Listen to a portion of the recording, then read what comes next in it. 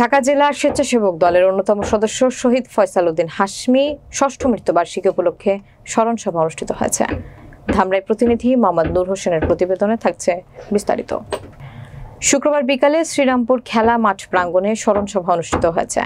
ফয়সাল উদ্দিন হাসমির চাচা রাজ্জাক বলেন, আমার দাবি একটাই হাসমির মামলা পুনরায় অতি শীঘ্রই চালু করে আইনের মাধ্যমে খুনিদের দৃষ্টান্তমূলক শাস্তি বা ফাঁসির দাবি করছি।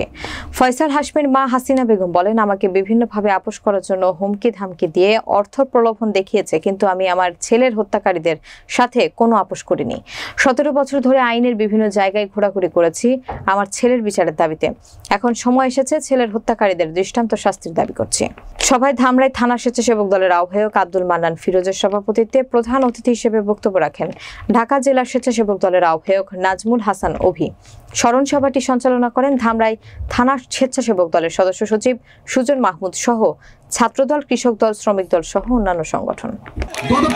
আগস্ট বিপ্লবে যে সমস্ত ছাত্র জনতা মৃত্যুবরণের মাধ্যমে, শাহাদত বরণের মাধ্যমে বাংলাদেশের দ্বিতীয় মুক্তিযুদ্ধের সূচনা হয়েছে, বাংলাদেশ আমরা নতুন করে একটি স্বাধীন সার্বভৌমত্ব বাংলাদেশ হয়েছি, সেই সমস্ত শহীদ ভাইদের আত্মার মাফেরত কামনা করছি।